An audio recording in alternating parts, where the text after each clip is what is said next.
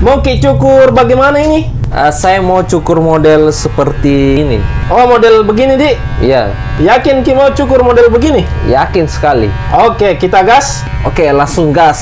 Siap. Oke, jadi kali ini ada yang request model rambut orang Korea. Apa rambut orang Korea? Apa bisa rambut jatuh terus gepeng begitu? Minta rambutnya model rambut orang Korea yang bertekstur ngembang terus gambaran. Nasami bisa. Apakah yang tidak bisa? Ada dah. Ya, kalau model rambutnya mungkin bisa dikasih sama, tapi mohon maaf menyamakan wajah saya ndak bisa. Oke, jadi ini rambutnya sebelum dicukur dan ini rambutnya setelah dicukur. Hmm, hmm, saya kira jandapir, ternyata dudapir. Au, menyala abangku. meledak Oke, cukur bagaimana ini? eh potong dua jari di sampingnya kak Potong dua jari, Iya. segini. iya atasnya potong sedikit juga Di atasnya potong sedikit. Iya. Eh, ini di depannya styling ke mana? Ke atas gini, ke depan atau kanan? ke Ki- kanan tapi ke bawah kanan begini di, tapi Iya. berponi. iya Oh iya.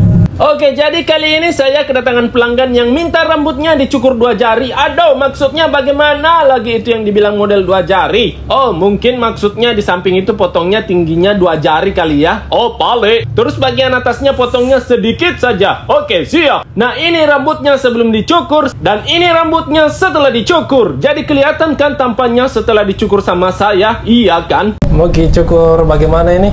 dirapikan rapikan saja. Ini kira-kira sampingnya kasih pendek bagaimana? Mau dikasih pendek sekali atau jangan terlalu pendek? Eh, jangan jangan jangan terlalu pendek Jangan terlalu pendek deh.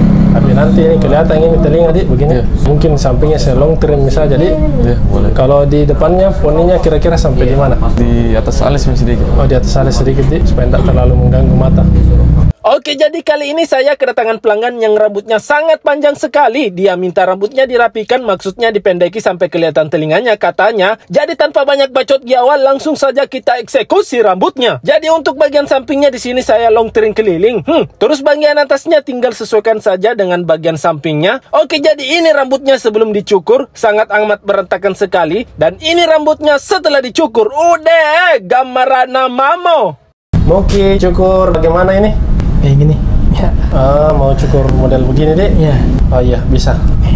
Oke, jadi kali ini saya kedatangan pelanggan minta dicukur mulai rambutnya pemain bola, tapi mohon maaf ya, saya tidak tahu ini nama pemainnya siapa. Ya kalau model rambutnya ya saya tahu. Soalnya saya itu pemain cukur, bukan pemain bola, iya kan? Jadi ini model rambut quiff yang mana pada bagian depan itu sedikit dibikin jambul begitu, terus bagian sampingnya itu dipotong pendek. Nah, ini rambutnya sebelum dicukur, kurang rapi dan sedikit agak lain. Dan ini rambutnya setelah dicukur, aduh, jadi susah saya kasih bedakan mana pelanggan saya, mana pemain bolanya. Moki cukur bagaimana ini?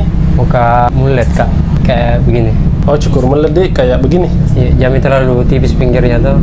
Atasnya kita rapikan sedikit Di samping jangan terlalu tipis Terus atasnya dirapikan. Iya. Oke siap.